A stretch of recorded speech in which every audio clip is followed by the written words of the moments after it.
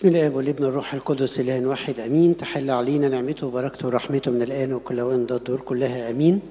هنراجع مع بعض اللي إحنا أخدناه الفترة اللي فاتت في العشر دقايق اللي كنا بنتكلم فيها عن كنوز كنيستنا. إحنا عندنا كنوز اللي هم الأسرار الكنيسة السبعة. وقلنا أسرار الكنيسة السبعة في أربعة إلزاميين وثلاثه غير إلزاميين أربعة مهمين لخلاصنا وثلاثة يعني ربنا بيسمح بيهم أو مش بيسمح بيهم زي قلنا الزواج سر مسحة المرضى والكهنوت. الأربعة الإلزاميين اللي إحنا قلنا إلزاميين لخلاصنا فلازم إن أنا أخدهم أي إنسان مسيحي وهم المعمودية والميرون والتوبة والاعتراف والتناول. وقلنا إن كل سر من الأسرار دي ليها اسم بيعبر عنها. قلنا مثلا المعمودية اسمه باب الأسرار.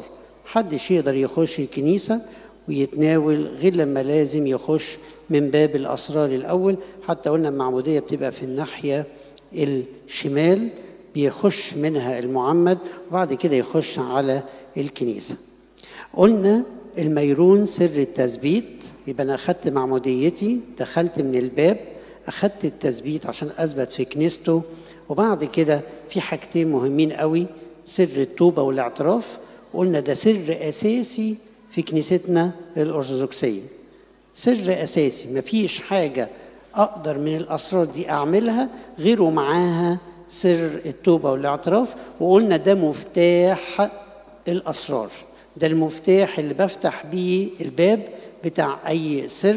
وبعد كده قلنا عن سر التناول هو اكتمال الأسرار اكتمال الأسرار. وقلنا إن في شروط لازم يجب توافرها قبل أي سر الإيمان والصوم والمصالحة وإتمام السر أو إتمام الطقس.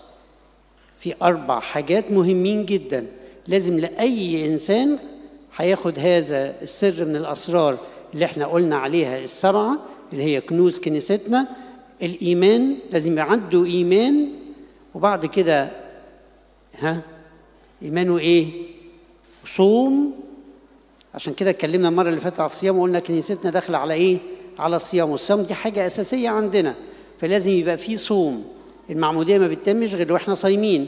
التناول ما بيتمش غير وإحنا صايمين. سر مسحة المرضى ما بيتمش غير وإحنا صايمين. أي سر من الأسرار ما بيتمش غير وإحنا لازم نكون صايمين. وبعد كده قلنا المصالحة لازم يكون عندي المصالحة علشان ما ينفعش إن أنا أخش لأي سر من الأسرار وأنا في زعل بيني وبين أي حد لازم يكون عندي مصالحة. أنا متصالح مع ربنا بالتالي متصالح مع كل الناس اللي حواليا. وآخر حاجة قلنا إتمام الطقس لهذا إيه؟ لهذا السر. واتكلمنا عن كل سر قلنا إيه الحاجة الروحية اللي أنا أخدها من هذا السر. النهارده هديكوا واحد من الثلاثه اللي قلنا عليهم اللي هم سر الكهنوت وسر مسحة المرضى وسر الزيجة. وهنتكلم النهارده عن سر الكهنوت لأنه هو أهم واحد في الثلاثه اللي بعد كده. أهم واحد لسبب واحد. من غير هذا السر مش هنقدر نعمل إيه؟ الاربعه الإلزاميين المهمين لخلاصنا. اربعه إلزاميين لازم يكون في كاهن عشان يقدر يتم هذا السر. عشان كده بنسمي سر الكهنوت كمال الأسرار أو منبع الأسرار. من غيره ما بيقدرش يقدر يتم هذا السر لأنه الكاهن بيعمل حاجة اسمها استدعاء للروح القدس. بوضع اليد عن طريق الأب البطرك أبونا بيقدر إنه يعمل استدعاء للروح القدس. عشان كده بيقول لك الشخص إحنا قلنا في كل حاجة من حاجات الأسرار اللي إحنا اتكلمنا عليها في مادة. قلنا المعمودية المادة هي إيه؟ المية. قلنا الميرون المادة هي إيه؟ الزيت. طب سر الكهنوت هو الكاهن المادة هو الكاهن بيتحول من شخص عادي إلى شخص قادر على دعوة الروح القدس عشان كده نلاحظ إن أبونا بيجي وهو وقت التقديس هو بيجي يقسم الجسد أو بي بيقول وذاق لازم ينفخ نفخة الإيه؟ في سر المعمودية بتحب تنفخ هذه النفخة نفخة الروح القدس للشخص الإيه؟ المعترف. سر الكهنوت إحنا عارفين ان هو موجود من العهد القديم وربنا سمح به في العهد القديم وسمح به في العهد الجديد وكان عبارة عن ثلاث حاجات مهمين قوي. الكاهن مين بيختاره؟ برافو. الكاهن بيختاره الله يرضى عنه ربنا. الكاهن بيعمل إيه؟ يقدم ذبيحة. الذبيحة دي عن مين؟ عن الشعب يرضى عنها الله. صعب اللي أنا قلته؟ صعب. ولو صعب يعني نحفظها ما فيهاش مشكلة. يبقى الكاهن ربنا بيرضى عنه فبيختاره ها؟ بعد كده الكاهن بيختار الذبيحة بيرضى عنها الله. الذبيحة دي عن مين؟ عن الشعب. في العهد القديم كان كل واحد بيجيب الذبيحة بتاعته لكن جه ربنا في العهد الجديد وقال خلاص ما فيش ذبيحة أنا ذبيحة العهد الجديد. علشان كده إحنا في أسماء للآباء الكهنة أو ألقاب. يلقب بإيه؟ الآباء الكهنة. يلقبوهم كده وكيل سرائر الله. أمين على هذا السر وكيل ربنا على هذا السر إنه يتم هذا السر. عشان كده قلنا في سر التوبة والاعتراف إيه اللي بيحصل؟ أبونا مجرد إن هو إيه؟ بيسمع فقط لا غير. وبعد ما تخلص يقول لك التحليل. علشان كده سر الكهنوت في العهد الجديد جه ربنا عمل إيه؟ مع بطرس قال له إيه؟ أنت بطرس وعلى هذه إيه؟ الصخر أبني إيه؟ كنيستي. وأبواب الجحيم لن تقوى عليها. واداله ساعتها الحل قال لهم كل ما تحلونه على الأرض يكون وكل ما تربطونه يكون إيه؟ مربوط.